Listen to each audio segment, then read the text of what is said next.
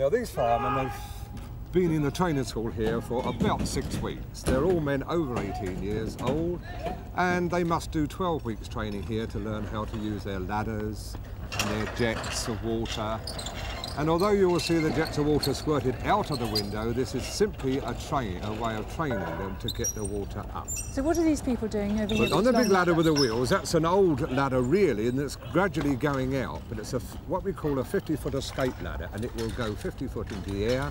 In fact, it will go to the top of that tower if we want it to. So some men are putting up the ladders. So and what are the other men doing? The other men at the moment, with the lines of hose, you'll see them winding the hose out. They are preparing the hose so that when the ladder's ready, they will run up the ladder into the building and be able to squirt water into the fire. The old machine you saw operating, they stood outside and squirted it up. Yeah. These men will try to get into the fire and fight the fire by going into the burning building. I see. But there's different types of ladders. The metal ladder you see over there is a more modern ladder.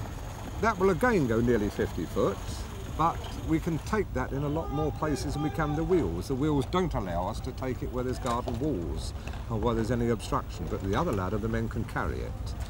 So the man you see going up the ladder now, he's taken up hose. There's no water in the hose at the moment, but he will give a signal or shout down to the pump operator, and that's the man who's standing behind the machine there, and he's controlling the water which comes from a fire hydrant. I see. Well, why are these men squirting water downwards? Well, if they squirted it up in the air, of course the water would shower all over us at the moment, and they are indicating now that they can control where they squirt the water to.